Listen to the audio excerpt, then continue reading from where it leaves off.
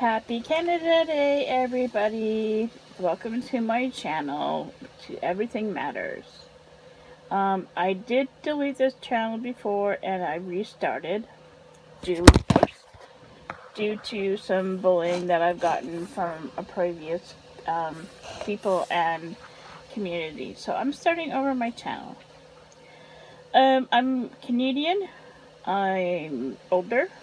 I would like to talk about makeup and dolls, collections, hauls, my life. Um, I suffer from autism.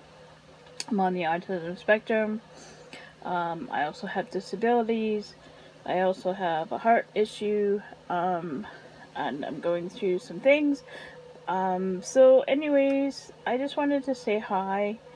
Let everybody know, well, I'll give it one more shot. If the bulliness continues, and I will delete this channel completely and start over with a different name. And I won't start until I probably have either an animal to start a channel with, like a dog or a cat or something, and and go from there. So, but I thought I'd try one more time. Wishing everybody a happy Canada Day and a July 4th. And please don't drink and drive. Um, that also don't smoke and drive, if you know what I mean. If it's legal in your in your where you live, please don't smoke smoke and drive. And be careful on the water.